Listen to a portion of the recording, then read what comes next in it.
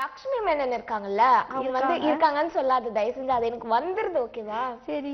சமந்தா காட்டுல வந்து அடமழை அப்படின்னு நம்ம சொல்லிட்டு இருந்தோம். இவங்க காட்டுல புயல் மழையா? அடுத்தது பார்த்தேன்னா அடமழை யார் காட்டலன்னா லக்ஷ்மி மேனன் தான் கண்டிப்பா.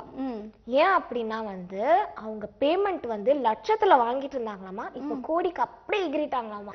என்ன அப்படின்னா அவங்க இது வரைக்கும் நடிச்ச எல்லா படமே வந்து செம்ம ஹிட் அது என்னன்னு தெரியலப்பா அவங்க எது நடிச்சாலும் ஹிட் ஆகி போயிடுது. பாரு அடடே. அப்புறம்? அடடா. அப்படிதான்.